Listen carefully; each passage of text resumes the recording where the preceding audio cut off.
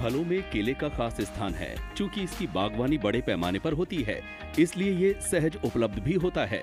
केला गर्म मौसम में होने वाली फ़सल है। इसकी खेती के लिए 30-40 डिग्री वाले क्षेत्र ज़्यादा सही माने जाते हैं।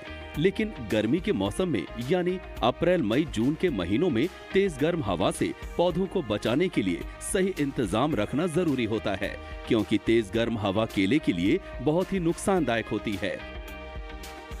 अब वर्तमान समय की अगर बात करें तो ख़ास तौर से अभी ये अप्रैल, मई और जून का जो महीना रहेगा, इसमें तापमान पूरे भारतवर्ष में अलग अलग जगहों पर, आप देखें कहीं ना कहीं करीब 35-36 डिग्री सेंटीग्रेड से लेकर के 45 छियालीस, सैंतालीस डिग्री तापमान तक रहता है। और ऐसी दशा में आप देखेंगे कि केले की जो बढ़वार होती है, वो रुक जाती है।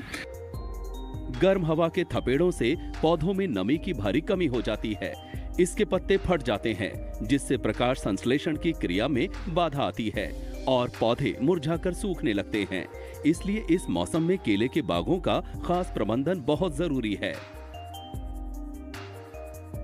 क्योंकि हमको पता है कि गर्मी आने वाला है, ऐसे कंडीशन में आप लू से या गर्म हवा से या तेज़ हवा से बचाने के लिए आप वायु अवरोधक जो विंड ब्रेक की बात करते हैं, उसका प्रयोग करें। इसके लिए आप केले के बागान के चारों तरफ़ ढैंचा की दो लाइन अगर आप लगा देते हैं तो निश्चित रूप से उसे क्या होता है कि जो गर्म हवा का थपेड़ा होता है, वो बागान में नहीं जा पाता है।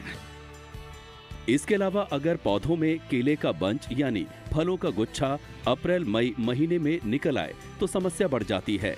इसलिए कोशिश ऐसे प्रबंधन की करें, ताकि बंच निकलने की अवस्था थोड़ा आगे पीछे हो। फिर भी अगर केले के गुच्छे निकल आए हैं तो शुष्क हवाओं से बचाने के लिए इन्हें ढकें।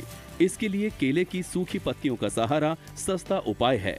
वैसे आप बेहद पतले पॉली बैग से भी इसे पूरी तरह से कवर कर सकते हैं। बाज़ार में आजकल बहुत तरह के स्कर्टिंग बैग अवेलेबल हैं, जो कि बायोटिक या ए बायोटिक जो स्ट्रेसेस होते हैं, तेज़ या गर्म हवा है या कीड़े मकोड़ों का जो अटैक है, उससे बचने के लिए अगर उसको आप पहना देते हैं तो उसकी गुणवत्ता बनी रहेगी, बाज़ार जो उसका भाव है वो अच्छा बना रहेगा। इसके अलावा जब पौधों में फलों के गुच्छे निकलते हैं तो उनका भार उस तरफ़ बढ़ जाता है।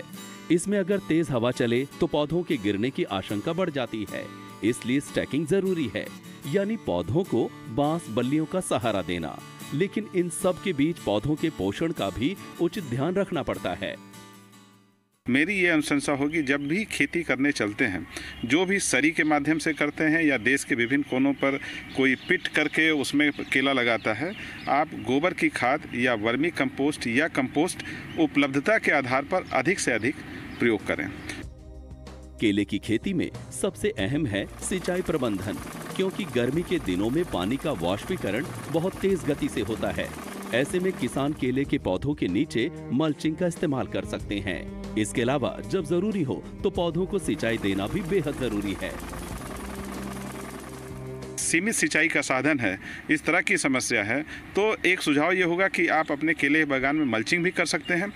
दूसरा मेरा यहाँ पर अनुशंसा ये होगा कि आप पानी की उपलब्धता के आधार पर इस तरह का सिचुएशन रखें कि केले के बगान में किसी भी प्रकार का पानी का तनाव ना होने दें।